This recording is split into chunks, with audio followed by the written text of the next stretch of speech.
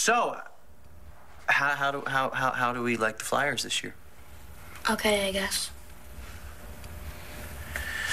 Look, Shane, about before, uh, about me and your mom, I'm, I'm sure you have a lot of quest- questions, don't you?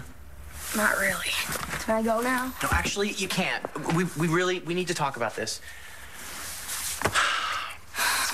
You see, when a guy loves a woman, or another guy, you know, whatever, whoever, it makes no difference to me. Anyway, It's called They- sex. I get it. Can't we talk about drugs instead?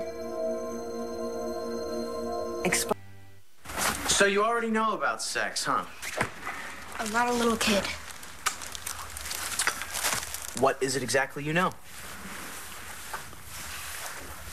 Seriously, a lot, a lot gets said about sex. Some of it's true, but a lot of it's not even close. Do we have to talk about this? I didn't want to talk about it either when I was your age.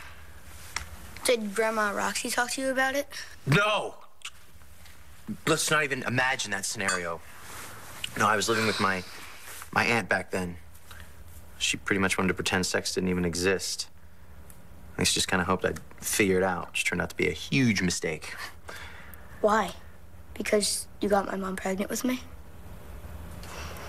How do you know that? You were not a mistake. Shane, you and your mom are the best things that have ever happened to me. So you meant for my mom to get pregnant with me?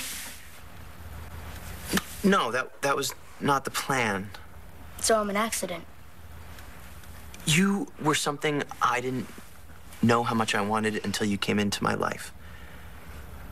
The mistake was thinking that sex was no big deal. Nobody ever taught me that it was supposed to mean something, that it's supposed to be when you really love somebody. So you didn't love mom back then? I didn't even know what love was. I was young, too stupid. Then I mentioned selfish. I just cared about myself, didn't care about hurting anybody else, even if I really cared about them. And I didn't do anything to keep her from getting pregnant. That was her problem. That was on her. She was on her own with a kid, our kid, who had to grow up without his dad. I really screwed up. So what is it that you're trying to tell me? Don't be like your old man. Can't believe. I wasn't exactly role model material when I met your mom. I don't even know why she was into me. I sucked at treating people right. And that is the most important thing. If you are not 100% sure that you can treat the person you're with with the respect that she deserves, you don't have any business messing around with her. And you both need to know that, that you both have to be there in case things don't go right. Like having a kid. Like having a kid you can't do right by. That's not the only thing. You don't want a disease either. Did you get a disease? No. No, I got lucky, but a lot of people don't. I really don't think this is the problem. I don't even have a girlfriend anymore. Anymore? You had a girlfriend? We broke up. She was too immature. Uh, but you weren't. Um, I'm 10.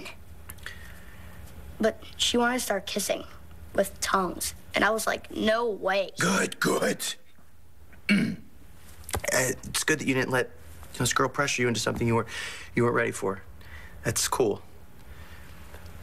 But if the time comes where where you're ready to, to start kissing with tongues or whatever, just just know you come talk to me. Okay, ask any questions. Are we It's done now? Uh, as long as you promise you'll listen to what I just said. Only if you promise you won't do it in the living room again. Deal. What do you Dan Savage and Dr. Ruth put together. Who's Dr. Ruth? Glad you guys stopped by. How's everything? We're good. Can't just help myself there, Gigi. Thanks. Really. Top-notch service right here. I'm on it. Um, I'll get you a soda. Okay? So, What have you guys been up to, huh? Just hanging out. Yeah? We're hanging out with uh, John and my dad down at the piers in Atlantic City, trying to fish. We never catch one single fish, but we get a lot of advice. Rex was giving me advice too. Oh, scary. Really? About what? Sex. Okay. I, I told Shane that he could ask me anything he wanted to know, but there were a few questions that were kind of out of my league, so we came here. I figured he could maybe talk to his mom. Michael's a doctor. He could tell me. Yeah, sure. What do you want to know? What's a clitoris?